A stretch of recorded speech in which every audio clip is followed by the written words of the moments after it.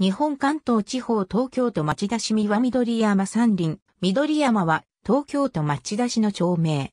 現行行政地名は三輪緑山1丁目から4丁目。郵便番号は195-0055。町田市の東部に位置する。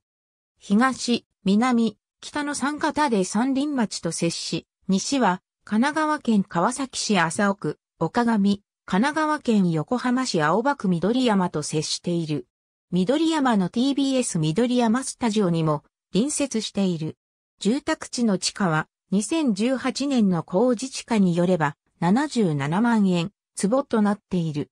三輪町の一部で三輪土地区画整理事業の完治処分を迎えるにあたり、事業区域内の地盤整理をする必要があり、新たな町名を付けることとなった。住民からは緑山、組合は山林の名を残す TBS 緑山スタジオは緑山の名称を使わないようにとの要望が出た。そこで住民と組合の案の間を取り三輪緑山の案が出て TBS 緑山スタジオ側からも了承を得た。2018年1月1日現在の世帯数と人口は以下の通りである。私立小中学校に通う場合、学区は以下の通りとなる。小田急電鉄小田原線の鶴川駅が最寄り駅である。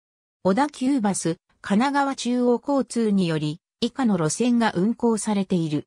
三輪コミュニティセンター。ありがとうございます。